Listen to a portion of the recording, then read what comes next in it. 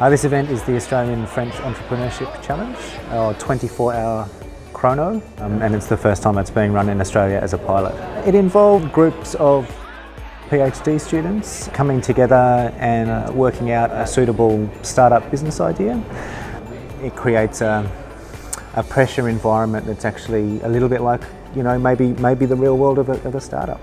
Entrepreneurialism is a real challenging thing to teach. It's one of these things you do better by probably doing than just learning it. They need to really think out of the box. And the idea here is to have people being capable of brainstorming and thinking out of the box. We have to be creative, you have to be uh, strong, you, are, you have to be able not sleep.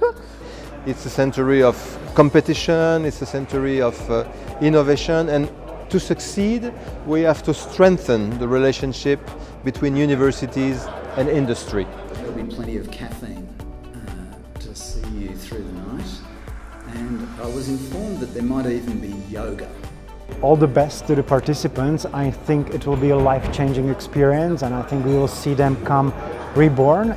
I, am, I don't know what is going to be tomorrow. It is just exciting. So if you move around and face that way, we'll have some photographs and then it's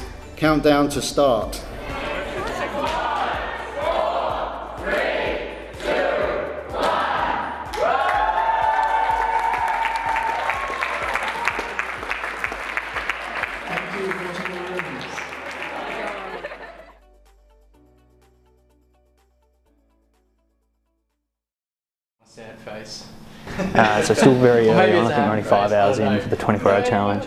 Um, just formulating ideas, coming up with something we think might be plausible and so it's, been, it's very very intense so far. But I think we're a long way ahead of perhaps where the other groups are, but maybe ask me at 6am. See how we're going.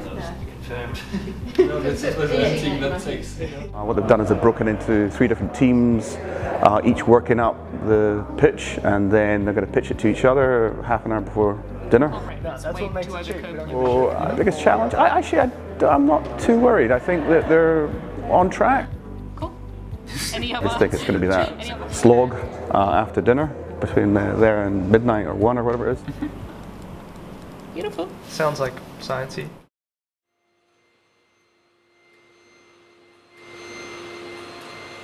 I think it's about 4.15. Uh, it's been a roller coaster, I'd, I'd, call it.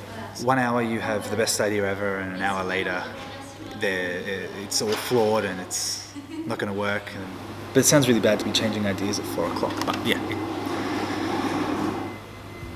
we've pulled it together, and I think the team is working its best right now as it all comes together. I think it was challenging definitely coming up with an idea from scratch, coming to a consensus as a group, but it was a, at least so far it's been a very valuable kind of exercise. We've got a good idea, we've developed our business plan I guess. Yeah, I think Yeah, so. we're getting there, yeah. Definitely got a lot, yeah. We just got to put it together, yeah. Yeah. a lot of people are on a high sometimes when some people are low um, and then it kind of balances out so we're always kind of having someone who has high energy and kind of driving the group yeah I, I think it's working pretty well great group of people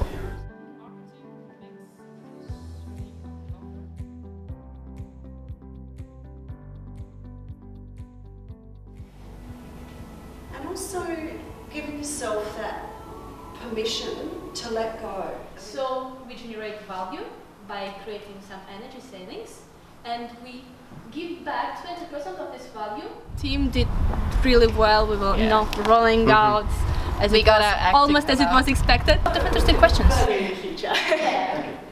Our idea wasn't any of our first ideas. It wasn't even any of our third ideas. It was like a, a collaborative effort entirely. You've done a very, very good job. That's great. Thank you very much.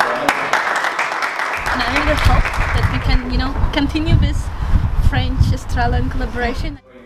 It hasn't sunk in yet, I don't think, quite. Uh, I think the sleep deprived state is sort of adding to the whole sort of surreal sheen the event has. Amazing. Can't emphasize that enough. I'm very proud of my team and uh, I think this is exactly why the, the reason why I choose to be an entrepreneur is to meet this kind of people and I'm very happy that I will miss, we meet again in Paris. We can finally sleep.